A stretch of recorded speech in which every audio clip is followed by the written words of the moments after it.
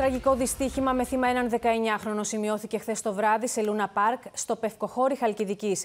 Σύμφωνα με τις πρώτες πληροφορίες, ο 19χρονο μαζί με τον αδερφό του ήταν σε ένα παιχνίδι το οποίο έσπασε με αποτέλεσμα να πέσει κάτω και να τραυματιστεί πολύ σοβαρά. Θα πάμε αμέσως στη Λία Χριστάρα που βρίσκεται στο σημείο και είναι συγκλονιστικά Λία και τα όσα σου είπε ο αδερφός του 19χρονου που είχε ανέβει μαζί του στο παιχνίδι.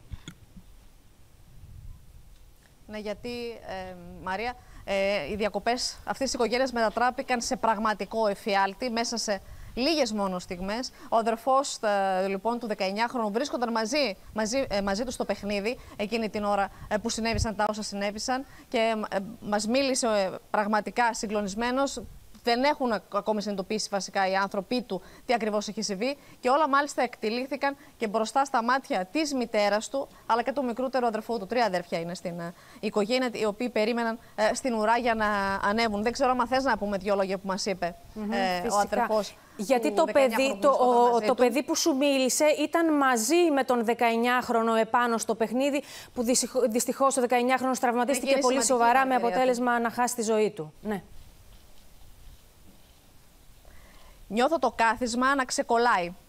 Το λέω και στον αδερφό μου. Κάποια στιγμή νιώθω να ξεκολλάει όλη η πλάτη. Σε κλάσματα δευτερολέπτου βλέπω να είμαι ανάσκελα και τον αδερφό μου να μην είναι δίπλα μου. Εγώ να κρατιέμαι ασυναίσθητα από το σίδερο. Ο αδερφός μου πετάχτηκε από το κάθισμα. Δεν πετάχτηκε μακριά, αλλά με φόρα και χτύπησε στο κεφάλι. Εγώ κρατήθηκα.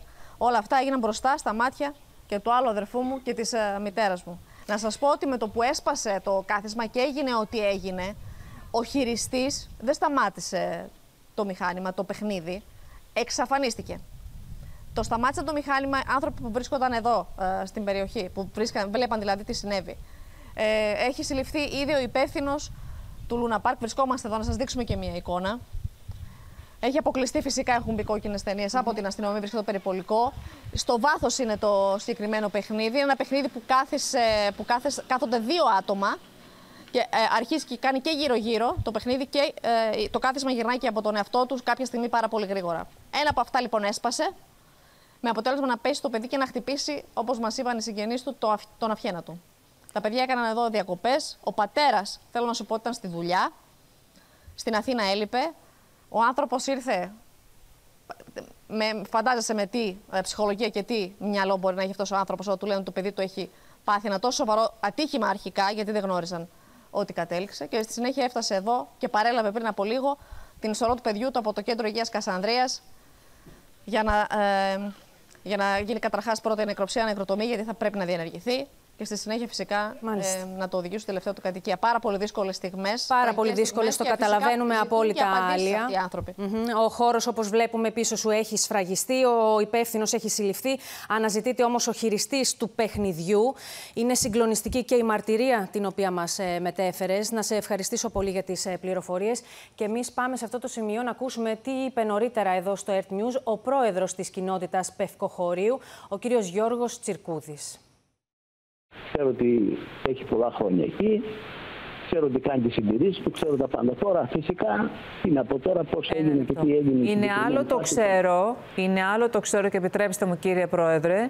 Και ναι. είπατε ότι αυτό υπήρχε πριν εσείς αναλάβετε την, ε, Εννοείται, την κοινότητα. Δεν είναι, δεν άλλο το ξέρω και άλλο ότι έχω κάνει και εγώ ελέγχους για να είμαι σίγουρος. Έχετε κάνει εσείς έλεγχος σε αυτό το συγκεκριμένο Λουναπάρ. Δεν είναι δουλειά μου εγώ να καθίσω να κάνω έλεγχο για τα Λουναπάρ. Τι δουλειά έχω εγώ. Δεν σας λέω να το κάνετε εσείς προσωπικά. Αλλά νομίζω ότι είναι από ναι. τις αρμοδιότητες, είναι από τα πρέπει ενός ε, ε, μιας ε, κοινότητας. Ε, εδώ μιλάμε για ζωές ανθρώπινες. Δεν πρέπει να ξέρετε κι εσείς ότι αυτό που έχετε στο δικό σας το χώρο είναι ασφαλές. Φέρετε κι εσείς μια ευθύνη πάνω σε αυτό. Ναι, κοιτάξτε, δεν, να σας πω την αλήθεια, δεν, το έχω, δεν έχω ασχοληθεί ποτέ με αυτό το θέμα, γιατί νομίζω υπάρχουν κάποιοι αρμόδιοι οι οποίοι ασχολούνται ε, με αυτά τα θέματα, με τις ε, υπηρεσίες, άμα είναι εντάξει, παίρνει κάποιες άδειες.